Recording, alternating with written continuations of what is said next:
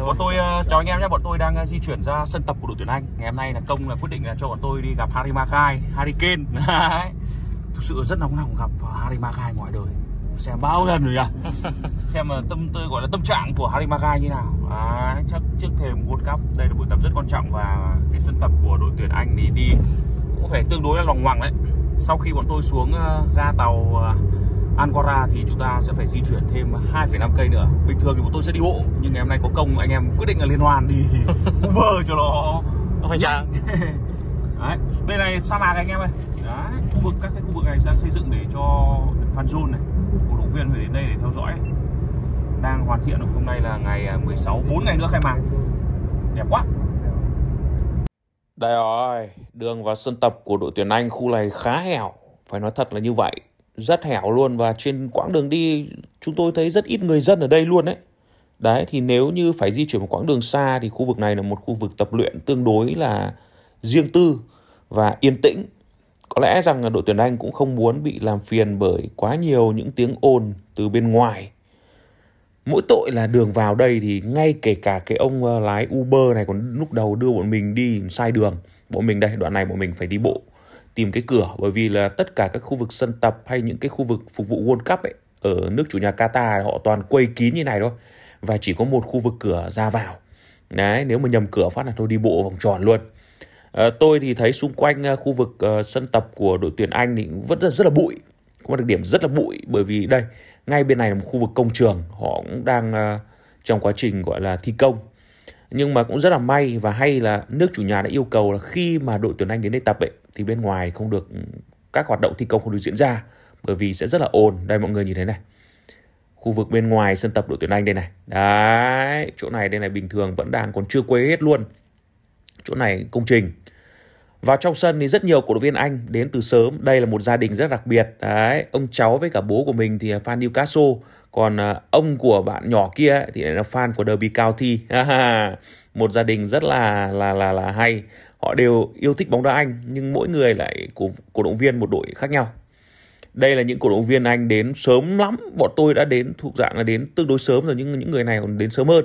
Rất nhiều những cổ động viên ở các lứa tuổi khác nhau họ đến đây chỉ để được ngắm thần tượng của mình ở một cái quãng khá xa, bởi vì ờ, đội tuyển Anh sẽ đi một khu vực riêng. So với cả cổ động viên hay là báo chí thì họ có một khu vực riêng à, một đường riêng đi ở bên trong. Đấy, mọi người thấy không? Rất nhiều những phóng viên từ các đài truyền hình ở Anh đến đây, họ tham gia phỏng vấn và ghi hình. Đây, những cổ động viên này rồi, tuyệt vời luôn. Cứ mỗi lần thấy cầu thủ là họ lại hò, lại hét, lại hát, rất là sôi động. Nói là đông thì cũng không phải đông đâu chỉ có khoảng vài chục cổ động viên thôi. Bởi vì thứ nhất là khu vực này cũng khá là hẻo lánh và thứ hai mình nghĩ rằng là nhiều fan của anh thì đến ngày 20 họ mới đến. Đây rồi đây rồi. Anh trưởng đây rồi. Giày đỏ anh à. Anh trưởng đây rồi. Uy tín luôn. Bước vào tất cả các ông kính phải nhắm về phía anh trưởng. Nó là nét luôn anh em ạ. À. chưa bao giờ gần anh trưởng như thế này. Sau đó thì à, họp lớp, cả đội sẽ họp lớp khoảng à, 10 phút để huấn luyện viên Gareth Southgate phổ biến à, về lịch trình tập và kế hoạch những ngày sắp tới của đội tuyển Anh. Ví dụ như ngày hôm nay ngoài tập xong ấy, thì họ sẽ có buổi giao lưu gặp gỡ với các à, công nhân, những người hoạt động và đang thi công cho các cái công trình World Cup trong suốt quãng thời gian vừa qua để giao lưu. Rồi, huấn luyện viên cửa Nam đây rồi.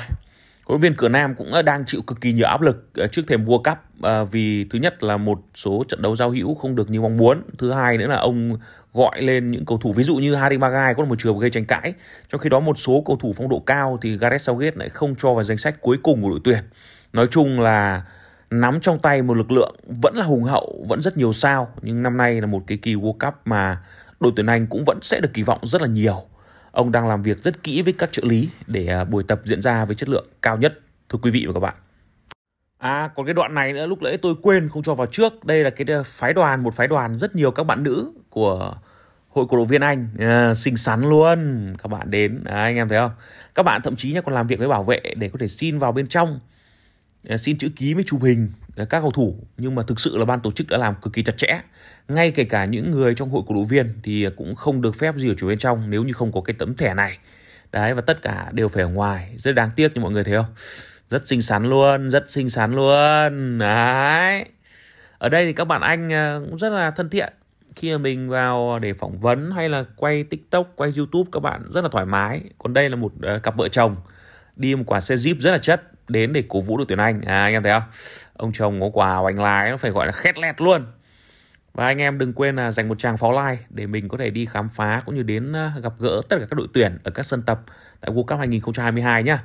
Còn bây giờ thì hẹn gặp anh em ở những video tiếp theo và chúng ta sẽ cùng đến thăm cũng như là theo dõi các đội tuyển tiếp theo xem họ tập luyện như nào, chuẩn bị cho World Cup 2022.